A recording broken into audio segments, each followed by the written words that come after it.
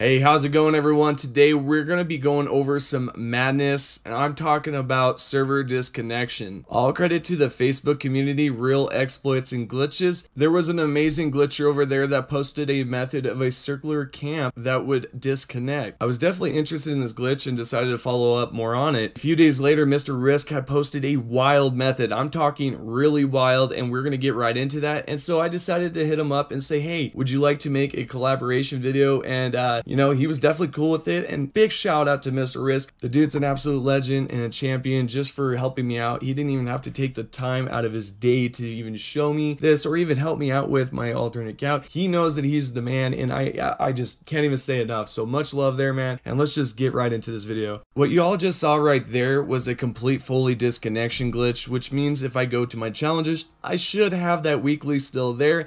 And bada boom, I do. And not only that, I'm going to show you something interesting as well because you're probably thinking, ah, oh, well, did you keep the score?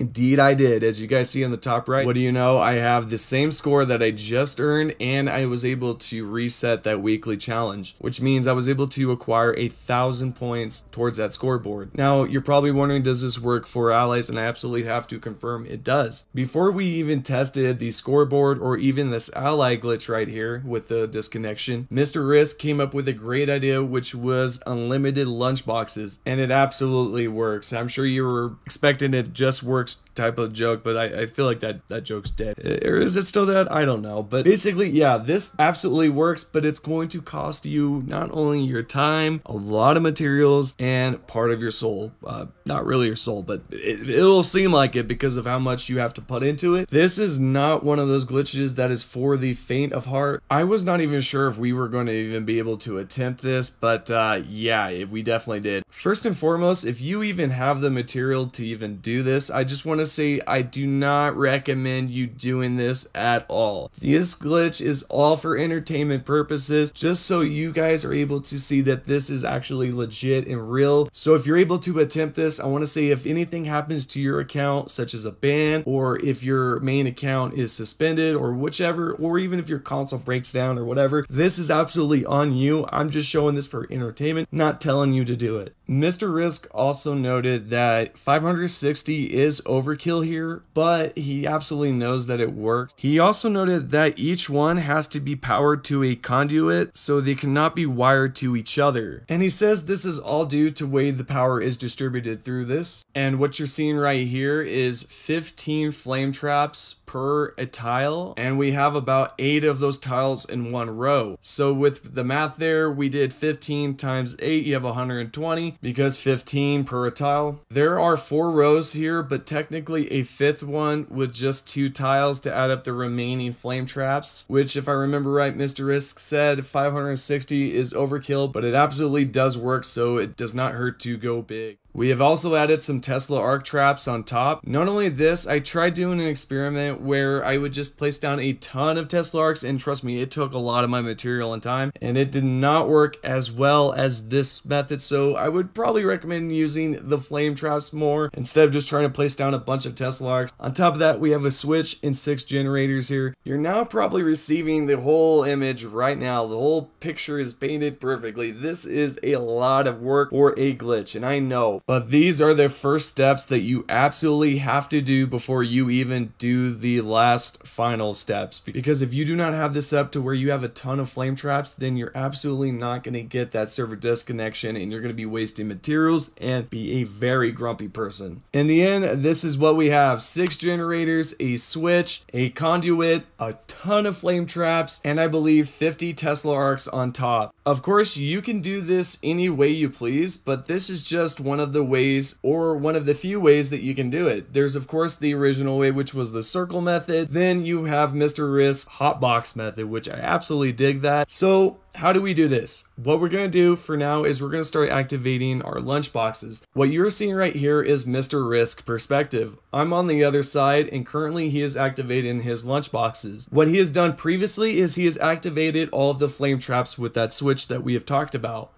Once all the switches have been activated, you're going to be able to repair all those flame traps. When you do make that initial repair, what's going to happen is it's going to completely lag the server to a whole new level. And I am not kidding. By this time, you should see the server disconnection pop up. And this one is not a warning. This one goes all the way through and you're going to be able to revert a lot of stuff backwards. And man, it is an absolute crazy glitch. He was able to keep his XP boost, I believe, too. So there was no need for me to leave in the beginning. But either way, this is great way to have unlimited XP boost with those lunch boxes. Another great thing to note down is when you do fully activate that switch and all those flame traps have been activated, including the Tesla arcs, what you're to notice when you pop back into a new lobby, literally your frames will drop down to 1 FPS. I'm not kidding. Moving on forward, Mr. Risk was fully disconnected with the glitch. Now he went back to his stash box to see if those lunch boxes are there